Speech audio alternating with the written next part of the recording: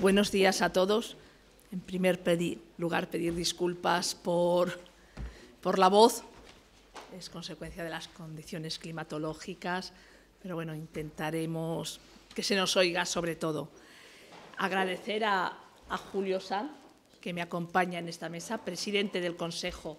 de la Abogacía de Castilla y León, y a Jaime Gutiérrez, decano del Colegio Oficial de Psicología de, de Castilla y León, eh, que junto conmigo vamos a explicar las medidas que ya tenemos en marcha en Castilla y León para la atención a víctimas de, agresiones sexuales en esta comunidad,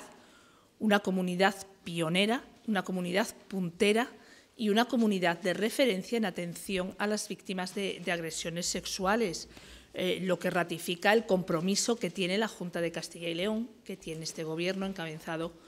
por Alfonso Fernández Mañueco en atender a las mujeres víctimas de violencia machista en general y también a las mujeres víctimas de agresiones sexuales en, en particular. Como les decía, Castilla y León hasta el momento cuenta con unos servicios punteros en la atención a las mujeres víctimas de, de agresiones sexuales,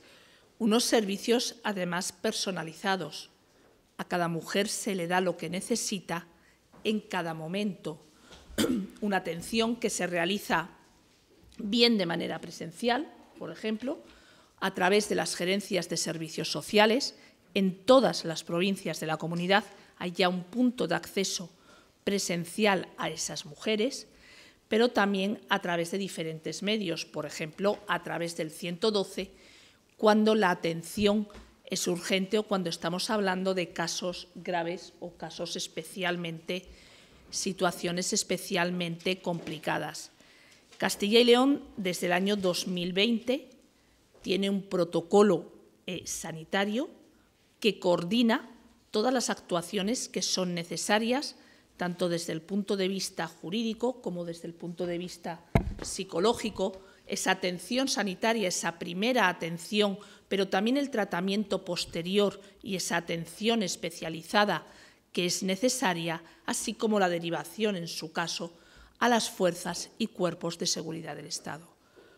Cuando digo que Castilla y León es puntera y que Castilla y León es referente a nivel nacional, eh, me baso en hechos, no solamente en palabras. Este protocolo eh, me van a permitir la expresión, ha sido copiado, de alguna manera, ha servido de referencia por parte del Ministerio de Sanidad para poner en marcha un protocolo de atención a víctimas de agresiones sexuales, de lo cual nos sentimos muy orgullosos de nuevamente estar a la vanguardia. Hablamos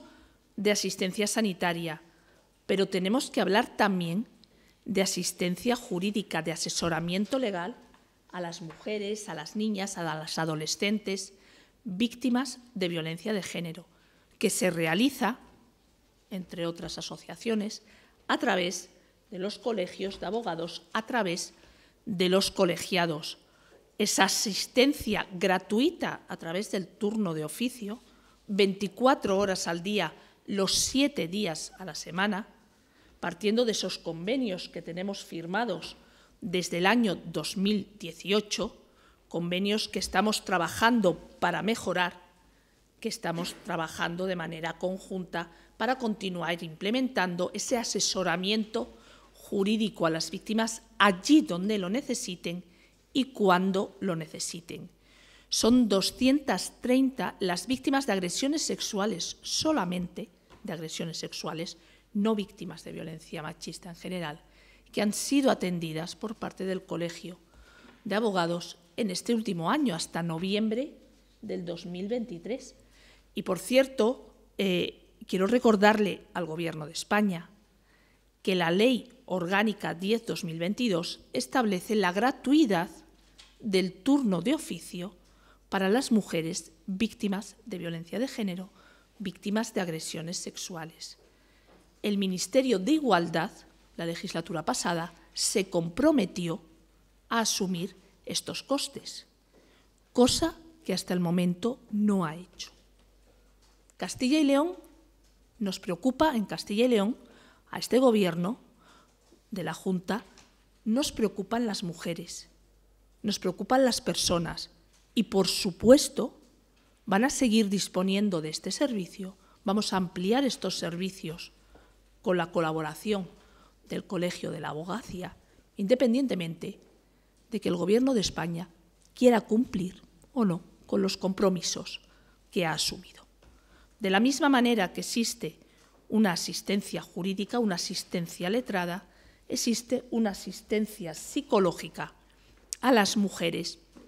víctimas de violencia machista, víctimas de agresiones sexuales. Una asistencia que sigue siendo pionera y que detallará Jaime un poco más cuando yo acabe la intervención. Hablarán ellos dos contando en concreto las actuaciones que se realizan, las actuaciones que ponemos en marcha. Con esta asistencia psicológica, hasta noviembre de 2023, en el último año, se atendieron a 438 mujeres víctimas de violencia machista. De ellas, 118, el 25%, eran víctimas de agresiones sexuales. Ese es el compromiso de Castilla y León con la atención a las víctimas de agresiones sexuales que se está prestando en la actualidad. Pero como decía, eh, no nos quedamos ahí. Queremos seguir siendo pioneros, queremos seguir siendo punteros. Por eso ponemos encima de la mesa dos nuevos recursos. Por un lado, el centro virtual Atiendo, que anunciábamos en el acto que se celebraba el 25 con motivo del 25 de noviembre, empieza a funcionar el próximo lunes,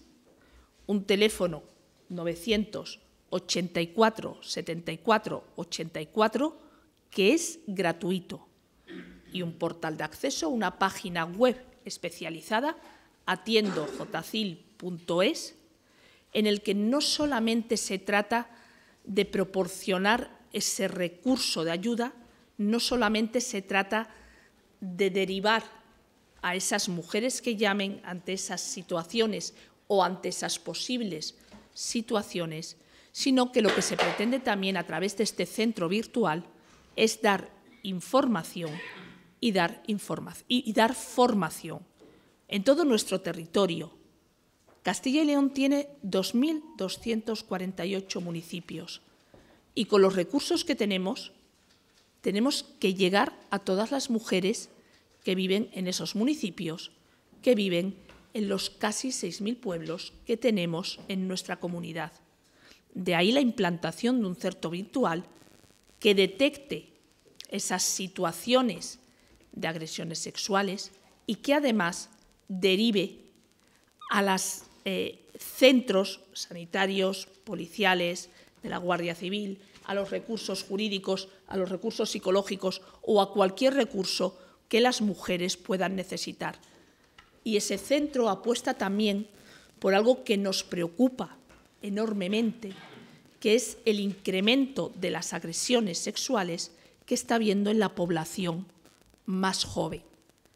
Hay un idioma que a nosotros, más mayores, nos puede costar hablar o nos puede costar entender pero que se da, que es el grooming, por ejemplo, cuando un adulto se hace pasar por un menor para interactuar con otros menores, el sexting, que es cuando un menor o una persona adulta envía una foto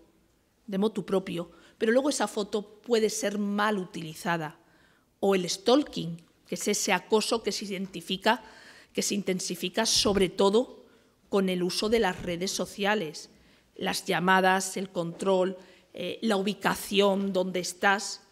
Contra todo eso tenemos que luchar y la mejor manera es eh, hablando el idioma que hablan los más jóvenes y accediendo a través de los dispositivos, a través de los mecanismos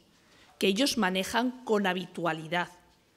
sobre todo el uso de las nuevas tecnologías, de ahí la implantación de este centro virtual, que como les digo es el primero en toda España, atendido por profesionales, por los profesionales que se necesiten y que derivarán a los recursos que sean necesarios. Y este centro se, va a complementar con el segundo servicio que se pondrá en marcha, que es la atención en esos centros eh, presenciales en las capitales de provincia, 24 horas, 7 días a la semana. El centro virtual va a estar disponible 24 horas, 7 días a la semana, igual que ya lo están la asistencia jurídica, igual que ya lo está la asistencia psicológica o ya lo está la asistencia sanitaria y se va a complementar, se va a reforzar con estos centros. Como les decía ahora mismo, esos servicios se prestan en las gerencias de servicios sociales en colaboración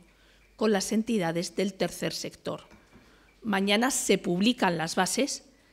para el concierto de esos servicios 24 horas, 7 días a la semana en todas las provincias a través de las entidades del tercer sector, un servicio que se prestará